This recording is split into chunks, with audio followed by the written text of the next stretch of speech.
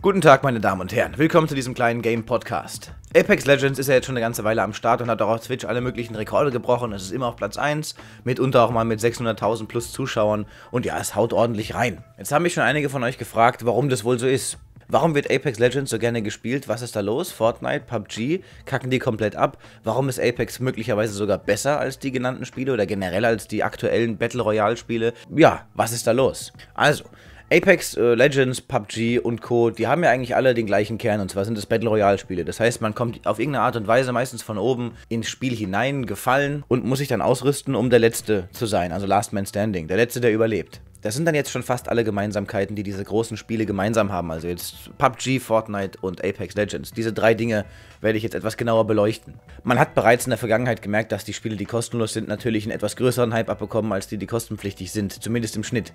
Weil sie schlicht und ergreifend von allen gespielt werden können, vor allem von Kindern. Da wir auch alle wissen, dass bei Kindern das meiste Geld zu holen ist, also rein spieltechnisch, ist es natürlich sinnvoll, Spiele auch für Kinder auszulegen, beziehungsweise zumindest auch irgendwie erreichbar zu machen. Das wurde ja bei Fortnite gemacht und äh, man hat gespürt, dass das ziemlich reinhaut. Ach ja, und vergesst nicht, heute Abend um 22 Uhr ist wieder Livestream. Wir spielen auch Apex und Counter-Stricken und Trouble in Terrorist Town. Es gibt wieder Skins für euch zu gewinnen, CSGO-Skins wohlgemerkt, und natürlich einen Haufen Spaß. Ran mit euch! Apex ist auch kostenlos, was den Hype, wie gesagt, sicherlich auch ordentlich nach oben boostet. PUBG hat was gekostet. Das hat dem Hype damals nicht wirklich geschadet, aber natürlich hat es gewisse Spielergruppen aus dem Spiel rausgehalten an und für sich ist gegen ein kostenpflichtiges Spiel natürlich gar nichts zu sagen. Das ist ja eigentlich Standard, dass Spiele was kosten. Also es ist kein großer Nachteil, aber es ist ein Riesenvorteil, wenn das Spiel halt kostenlos ist, weil direkt jeder mit einsteigen kann.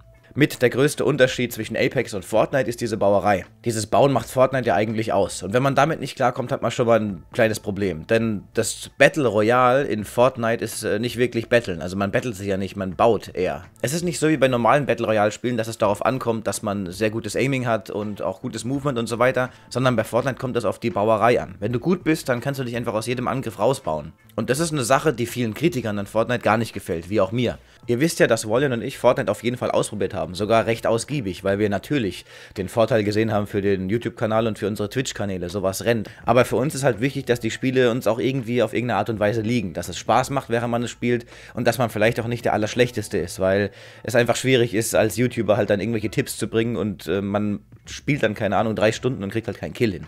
Und bei Fortnite war es fast immer so, weil du auf jemanden schießt und er baut sich ein ganzes Haus mit einer Familie und ist einfach weg, fliegt in Urlaub oder sowas.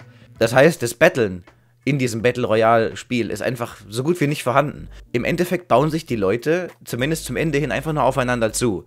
Und dann wird, wenn man so nah dran ist am Gegner, dass man mit einer Schrotflinte was machen kann, halt ein bisschen rumgeschossen. Und das war's. Und ein Battle Royale Spiel, das fast ausschließlich auf Bauen ausgelegt ist, war halt einfach für uns nichts. Bei Apex, wie auch bei PUBG, ist das zum Glück nicht der Fall. Da kann man nicht bauen und sich einfach verstecken oder so. Man kann natürlich wegrennen oder versuchen wegzurennen, aber man kann nur in bereits bestehende Gebäude reinlaufen und sich nicht irgendwie was aufbauen. Und das ist extrem angenehm. Was mir an Apex sehr, sehr gut gefällt, ist, dass es fast-paced ist. Das heißt, es geht sehr, sehr schnell. Bei PUBG oder auch einem Fortnite ist die ganze Geschichte so ein bisschen langsamer. Ich würde sagen, dass Fortnite zwar schneller als PUBG ist, aber dennoch sind beide zusammen nicht so schnell wie Apex. Also man ist da wirklich mit richtig Geschwindigkeit am Rennen. Man kann rumrutschen, man kann äh, alle möglichen Manöver machen. Das macht das Spiel extrem dynamisch und dadurch auch weniger anstrengend. Also bei PUBG zum Beispiel spüre ich in den Runden eine größere Anstrengung, eine größere, ich bin angespannter bei PUBG, also auch negativ angespannter. Apex ist auch anspannend und anstrengend, aber nicht auf so eine negative Art und Weise, wie es zumindest für mich bei PUBG der Fall ist. Apex fließt und ist dynamisch und macht mir dadurch auch viel mehr Spaß.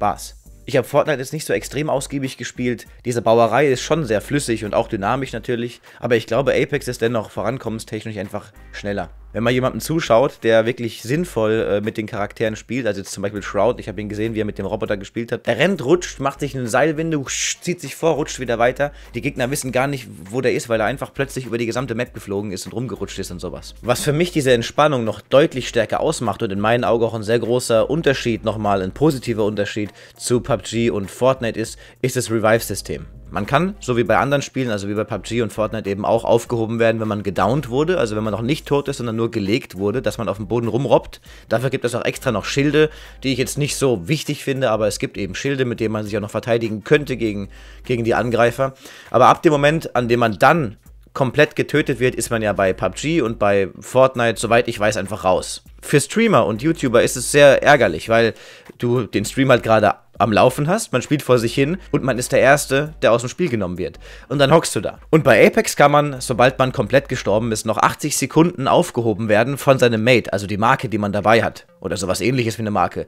Und dann kann man an speziell auf der Map verteilten Stationen revived werden. Und das ist für mich ein riesiger Pluspunkt. Denn selbst wenn du komplett tot bist, kannst du wieder ins Spiel zurückfinden. Und das ist halt für Streamer und YouTuber, du nimmst gerade ein Video auf und so weiter, da ist es einfach angenehmer. Das Ganze bringt auch nochmal neue Taktiken mit ins Spiel, denn wenn man eine Wiederbelebungsstation einmal genutzt hat, ist sie unbrauchbar. Und es gibt nur begrenzte Wiederbelebungsstationen auf der Map.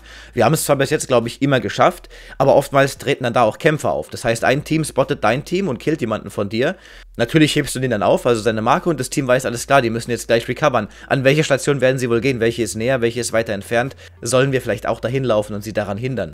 Was ich auch extrem gut an Apex finde, ist, dass die Waffen keine, keine Levelung haben. Man kann sie zwar aufbessern mit, mit einem anderen Schaft, ähnlich wie auch bei PUBG, oder einem anderen Zielfernrohr, aber es gibt nicht diese, diese Tiers von Waffen, diese Stufen. Das hat mich bei anderen Battle Royale-Spielen doch eher gestört, dass du eine Schrotflinte haben kannst, eine graue, also Stufe 1, oftmals war das ja in Farben gemacht, oder eine blaue oder eine lilane oder eine goldene. Sowas hat mich immer richtig abgefuckt, weil wenn du halt einfach Pech hast und äh, nichts Gescheites bekommst, rennst du halt mit einer blauen Schrotflinte rum und der andere hat eine goldene und dann triffst du auf den und dann bist du höchstwahrscheinlich kaputt. Das gefällt mir überhaupt nicht bei solchen Battle Royale Spielen. Ich möchte eine Waffe finden und wenn ich die ganz gut spielen kann, auch eine Chance haben damit, selbst am Ende des Spiels. Und das ist einem bei Apex auf jeden Fall gegeben. Du kannst am Anfang irgendwas finden, jetzt nehmen wir zum Beispiel eine Peacemaker oder eine, eine Hemlock oder sonst was. Und weißt genau, hey, damit kann ich auch am Ende was reißen. Ich muss jetzt nicht noch verzweifelt rumlaufen und auf die Schnelle irgendeine lilane Version davon finden, sondern ich kann auch damit einfach weiterspielen. Es gibt zwar bei Apex auch Aufbesserungen für die Waffen, also zum Beispiel kann man in die Prowler, das ist so eine Art P90, so ein Stück reinmachen, wenn man das dann findet, dass man dann Dauerfeuer schießen kann und nicht nur Burst. Das Dauerfeuer ist schon wirklich krass, aber mit der Prowler kann man auch mit dem Feuerstoß arbeiten. Also wenn man damit spielen kann, dann geht auch der Feuerstoß und man kann damit auch gut gegen andere fighten, egal was für Waffen die haben. Und das ist mir ganz wichtig bei Battle Royale Spielen. Das fand ich auch bei PUBG immer gut, dass es da halt keine Tierwaffen gibt, dass du da nicht am Schluss einfach gearscht bist, weil du halt jetzt nur eine Tier 1 Sniper hast und der andere eine Tier 4 Sniper. Was die Sache taktisch weiter voranbringt, sind unter anderem auch die Legenden. Man wählt am Anfang eine Legende, also einen Charakter, und diese Charaktere haben unterschiedliche Fähigkeiten. Zum Beispiel kann der Roboter sich mit einer Seilwinde halt irgendwo hinziehen, um schneller dahin zu kommen, oder sogar, wenn er seine Ulti hat, eine Seilbahn aufbauen. Das ist auch nochmal ein Riesenvorteil, den Apex hat. Dass man am Anfang schon in der Zusammenstellung des Teams, natürlich spielt man vorzugsweise mit Mates, dass man da sagen kann, hey, nimmst du den Heiler, ich mach dies und der dritte macht jenes. Optisch, also vom Stil her, gefällt es mir auch sehr gut. Wir wissen ja, dass es von den Machern von Titanfall ist. Es hat in gewissen Situationen oder Elementen eben auch Ähnlichkeiten mit Overwatch, also diese Legenden halt, erinnern einen direkt an Overwatch. Der Grafikstil im Spiel ist auch so ein bisschen mit dem Modus von Black Ops zu vergleichen. Ein paar haben auch gemeint, oh, das ist aber ganz schön bunt, das ist ja wie bei Fortnite und haben das als negativ angesehen, wobei mir der Stil an sich, wenn er jetzt nicht gerade hässlich ist, auch gar nicht so wichtig ist. Also ich finde das bunt nicht schlimm. Mich hat der Grafikstil zum Beispiel auch irgendwie an Borderlands erinnert. Und Borderlands hat mir immer sehr gut gefallen. Also ich kann da keinen Negativpunkt setzen, jetzt vom Stil her. Mir gefällt es sehr gut. Man kann alles schön erkennen und es sieht gut aus. Ich habe es vorhin schon erwähnt, das Spiel ist ja kostenlos, was nochmal ein riesen Pluspunkt ist. Vor allem, wenn man bedenkt, dass das ein EA-Spiel ist. Da denkt man sich ja, ach EA, guck mal da, es geht doch, ihr könnt doch wenn ihr wollt. Was aber noch cooler ist, ist, dass die ganzen Skins und so weiter auch alle kostenlos sind. Man kann sie einfach freischalten übers Spielen. Das ist ein Riesenpunkt, der bei vielen anderen Spielen die Leute einfach abnervt. Man hat irgendwelche coolen Kisten, man bekommt einen Drop und weiß, oh geil, da sind Skins drin, aber man kann sie nicht öffnen, weil man dafür erstmal Geld ausgeben muss. Bei PUBG gab es Kisten, die man kostenlos aufmachen kann, aber auf jeden Fall auch Kisten, die man kostenpflichtig aufmachen musste. Ich weiß nicht, wie es im Moment gerade der Fall ist, ob jetzt alles kostenpflichtig ist oder vielleicht alles kostenlos. Bei Fortnite bin ich mir überhaupt nicht sicher, wie das da funktioniert. Ich glaube, man kann damit V-Bucks halt einkaufen ich denke, die V-Bucks sind für diese Skins, beziehungsweise für irgendwelche Emotes oder so, ein, so ein Schotter. Das finde ich ist ein bombastischer Vorteil, gerade wenn man wieder bedenkt, dass es von EA ist. Selbst die beiden Helden, die man am Anfang noch nicht hat, kann man einfach kostenlos freischalten, indem man das Spiel spielt. Man fühlt sich fast in die 90er zurückversetzt. Man hat ein Spiel und spielt es und kann dann Sachen freischalten. Das ist ja was, was man in der heutigen Zeit schon so gut wie vergessen hat. Es gibt so viele Spiele, wo man Geld reinstecken muss, dass man immer mehr freischalten kann. So, die Katze ist jetzt auch wieder mit dabei. Kätzchen, komm, geh mal darüber. Hopp. Ich denke, das wird jetzt erstmal gewesen sein, so ein kleiner Überblick über die Unterschiede und Gemeinsamkeiten der Spiele und warum für mich jetzt im Moment Apex wirklich das Battle Royale Spiel ist oder generell das Spiel, das äh, mir wirklich sehr viel Spaß macht. Ich habe mich auf YouTube bis jetzt ziemlich zurückgehalten, was das angeht. Ich habe letzte Woche Donnerstag, glaube ich, das erste Mal das Spiel gespielt. Also spiele es seit einer Woche jetzt und kann aber schon sagen, dass ich da auf jeden Fall mehr machen möchte, also eben auch auf YouTube. Auf Twitch haben wir es jetzt, glaube ich, fast jeden Tag gespielt. Ich habe sogar ein, zwei Random Streams angehauen, wo wir einfach nur Apex vor uns hingespielt haben. Ihr könnt mir bereits hier gerne vorschlagen, was ihr speziell jetzt zu Apex sehen wollen würdet hier auf YouTube. Ich habe schon einige Videoideen, wie jetzt halt gewisse Waffen, mit denen ich gerne spiele, wie ich damit spiele und so weiter und vielleicht auch demnächst so eine Art Tipps- und Tricks-Video für, für blutige Anfänger. Aber vielleicht gibt es auch noch Themen, die euch interessieren. Ja, ich bin gespannt, was ihr dazu sagt. Heute Abend ist wieder Livestream um 22 Uhr. Ja, nicht vergessen. Fuck, ich sag's jetzt am Ende. Das ist schlecht. ich gucke, dass ich es vorne irgendwo reinschneide. Dann schon mal vielen lieben Dank fürs Zuhören. Ich hoffe, es hat euch gefallen. Und natürlich auch wieder ein riesiges Dankeschön an meine Patreons. Gameboy7, Legötz, Minerswin, Nico der Profi, Noah, Sanse, Sascha, SPL ganz frisch dazu. Vielen Dank, Bro. Und natürlich an The Rick. Ganz viel Liebe an euch. Hasselt rein. Bis dann. Tchau, tchau.